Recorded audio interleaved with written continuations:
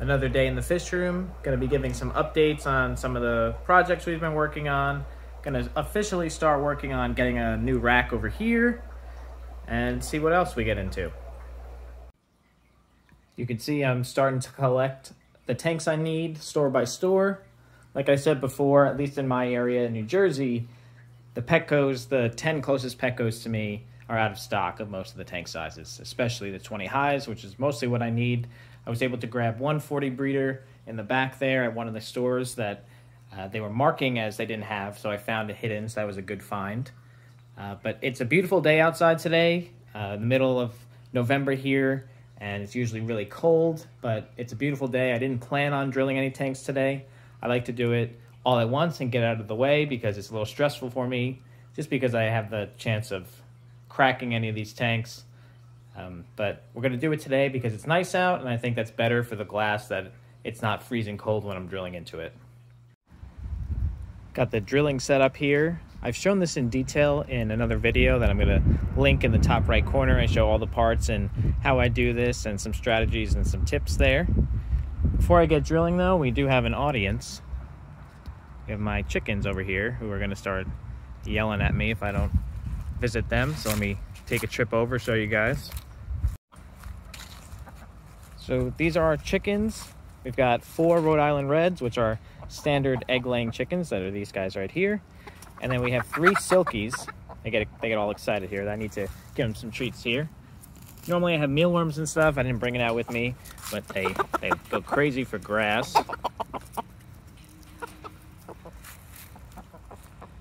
So the silkies are obviously the black one and the white one there. They've got the funny heads there. And they're they do lay eggs. They're a little bit smaller and they aren't actually sexed when you get them as chicks. So we got them all as chicks. Uh, the Rhode Island Reds are, I think it's 95 or 99% guarantee that they're female. The Silkies, you have to kind of hope you get mostly females. So we ended up with one rooster there Call him Penny. He's uh, the boss around here. Doesn't like you messing with his ladies.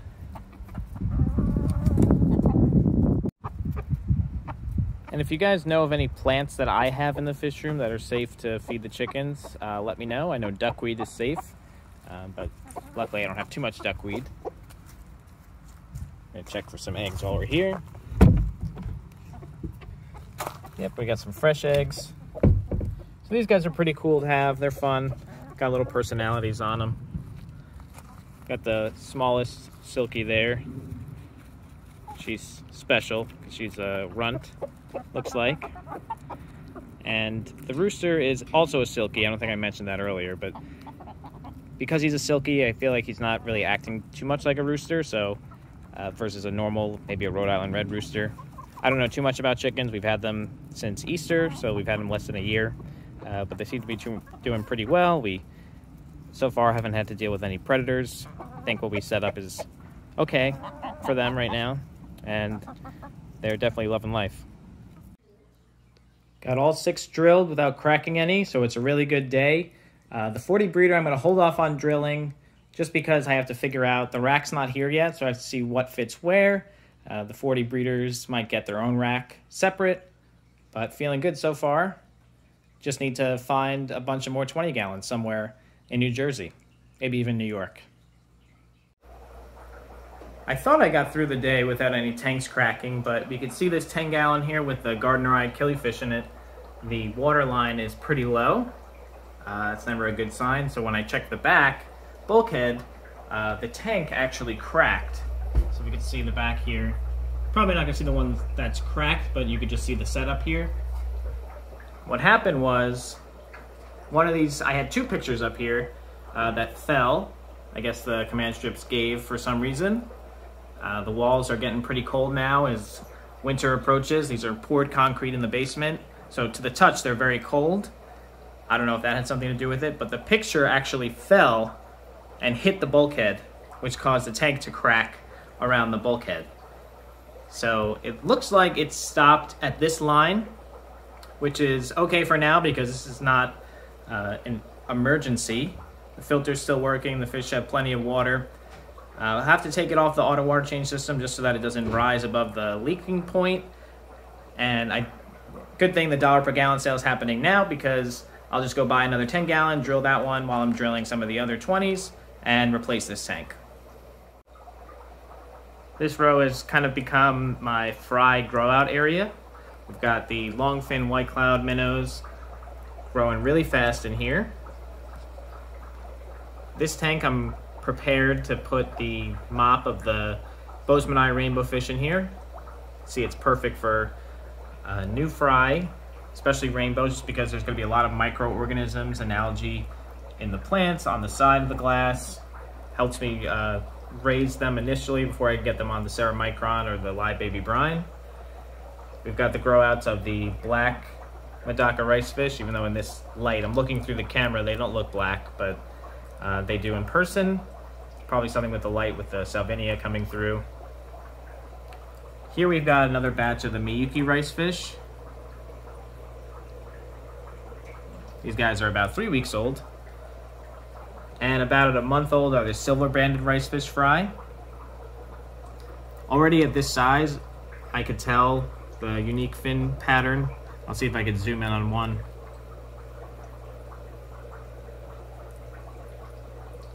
But I'm excited to have these numbers up.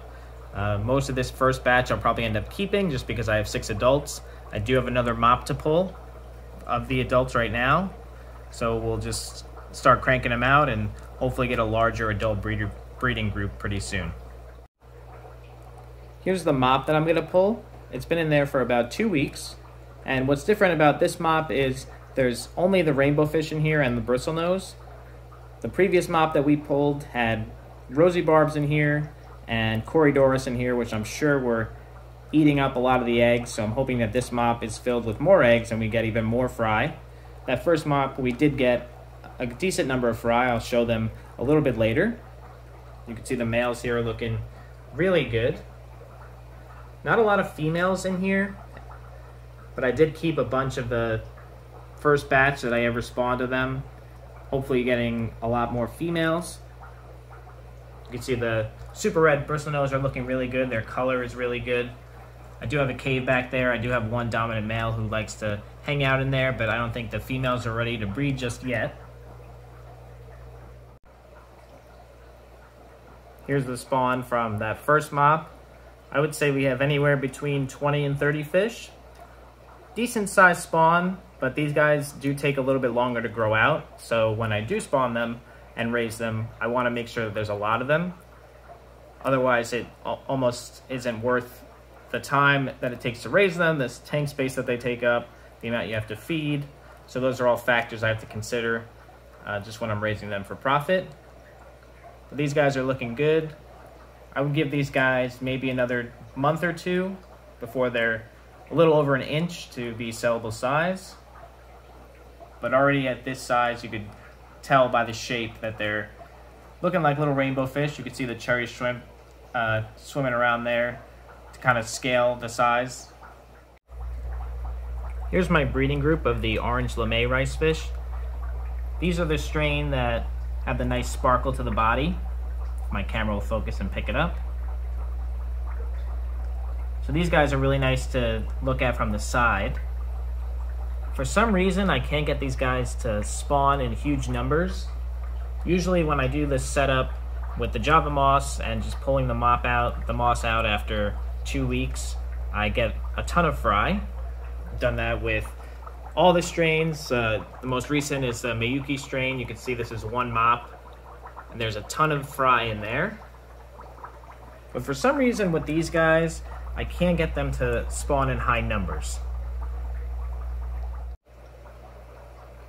Here's a spawn that I pulled to the orange lamés a couple weeks back.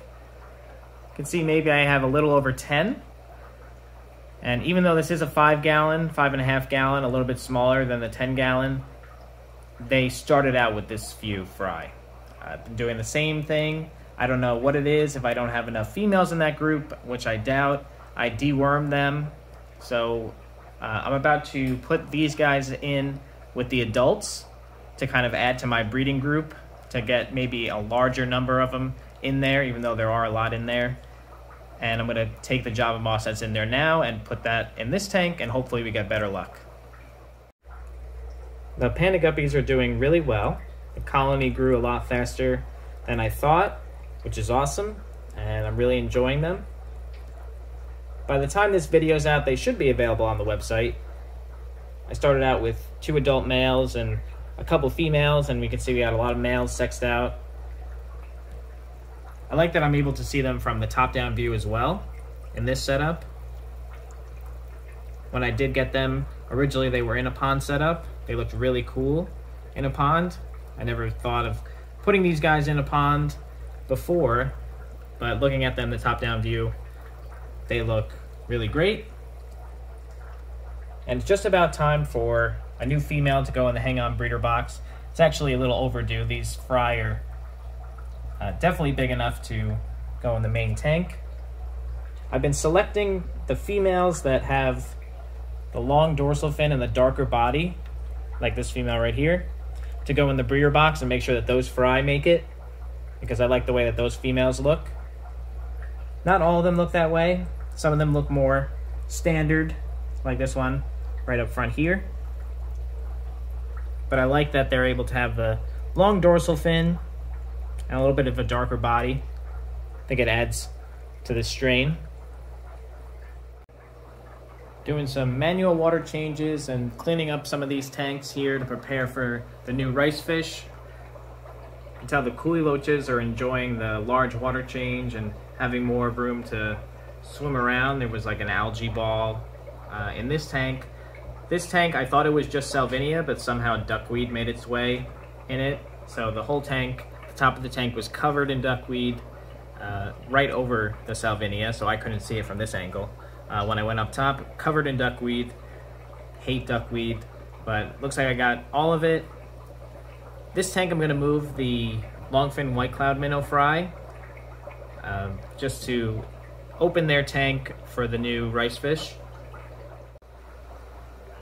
These guys have grown super fast compared to last time when I was raising them. Took about six months for them to get a little bit bigger than this. I'd say right now they're about three months old, maybe four months, and this is about sellable size uh, for shipping. In a store, obviously, you wouldn't want to sell them like this as long fin, just because they're not showing the full traits yet that they're long fin. I would say in the next month or two, they'll start developing those extra long fins um, but for shipping, these are perfect size. You want them a little bit smaller when shipping. That's always better. And uh, I'm going to move these guys over into that other tank just because this tank is already kind of perfectly set up for breeding the rice fish. This string algae here has kind of become like a, a mop. Instead of Java moss, I'm going to use that because I'm out of Java moss. And I'll put some floating plant up front and they'll quarantine in, in this tank and eventually, you know, hopefully breed in there where I could take that algae mop out. And here's another tank with an even bigger mop of the string algae that's gone way out of control. But this will actually serve as a test to see if uh, the algae works just fine. I'm sure it will. If a acrylic yarn can act as a mop, I'm sure that the algae can act as a mop. But when you get the opportunity to test things, I like to take it. So I'm sure that this algae is filled with the orange Medaka ricefish eggs, and I do need more of them. Uh, this is my breeding group, and I'm currently sold out on the website, so I definitely need more. So we'll see if we have a bunch of eggs in here. I'm going to transfer this string algae into another tank. Got these guys settled in, and they look really good in a nice planted aquarium, and I'm going to enjoy them a lot more in this setup. So I'm glad that I did this, that I had to do it uh, to make room for the new fish coming in. All the fry of the red ear albino koi guppies are big enough to, I think, free swim in the tank that they don't need the protection of this breeder net, especially because now I'm doing the hang-on breeder box instead of having the net in there. But I figured I'd show before I take it away this pearlweed that actually grew out of the water and it's kind of dripping into the um, net there. I think that looks really good. I want to figure out a way to keep that or move it somewhere. Probably not going to work. But I figured I'd get it on video so I could look at it later. It's funny how these guys think I was putting food in there. While we're here, we'll just take a look at the Ilyodon furcidens, or the Trout Goodeid tank that is filled with life. See all the babies are growing really fast. And I'm pretty sure the second female dropped. How many fry there are. Which is nice to see that colony growing. And you can see I have the setup here. Little photo shoot zone. Uh, where I take pictures of the what you see is what you get listings of the different types of driftwood and rock on the website. I combined both spawns of the Blue Daisy's rice fish. I didn't realize how many I had. It didn't look like a lot, but there's probably like a hundred in here. There's a lot in the back. And when I was catching them, there were definitely at least 50 in each tank. So happy about that, that I finally have some good numbers on those guys. But this is the second tank that I have ready for the new rice fish that we ordered. Just got some of the random hygro species floating and the Java moss there. Hopefully that grows out, gives them a lot of room to lay some eggs. We got the Miyuki rice fish looking really good. They're up high, so I don't get to enjoy the top-down view. But when I do get on a step stool, these are the, the Miyukis with the nice glow to them. It's almost like a blue hue. I like these a lot more than the Platinums. And next to them, we have the Red Dragon Guppies, still in quarantine. I'm surprised all the adults have made it so far. Just because these are imports we do see the fry free swimming. The females look amazing. I've never seen the Dumbo ears on the males in this stream like I have on these guys. So I think I got a good quality batch. Really excited to get these guys in a 20 as soon as I get that new rack set up. Giving an update here on the 24 karat gold guppy tank. You can see we have a ton of fry, which is a really good sight to see after almost losing the colony. We had a female drop a bunch of fry in this breeder net here. There's a new one in there. After removing the fry that I think are big enough now, swimming around without getting eaten by the adults. We have the lemon blue-eyed bristlenose plecos in here. We've got a nice male there. We have the short fin and long fin in here. Right now, only the short fin are breeding. Take a look at the long fin ones here. I don't see any bristles on any of them yet. I have four of them. I'm hoping that I don't have four females. I'm hoping that one, one or two will sex out to be male. They're about a little over eight months old now, which is normally when you'd start seeing them sex out. Uh, so I'm not really optimistic about it. If I have four females, I'll be on the hunt for one male. Otherwise, looking really good. That was another day in the fish room. Keep an eye out for all the videos that are going to come out uh, with all the new tanks being set up on the new rack. I have pretty much unlimited access to driftwood and rock, so I'm excited to play with those and set those up. If you made it all the way to the end of this video, I know it's a long one, and you aren't subscribed yet, do me a favor and hit that subscribe button. Thank you guys so much for watching. I really appreciate it, and we'll see you in the next one.